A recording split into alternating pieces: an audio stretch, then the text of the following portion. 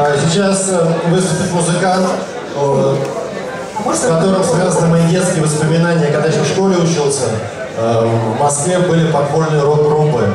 И одна из них, одна из моих любимых, мы ходили на концерт, который называется «Совершена», была группа «Рубиновая атака».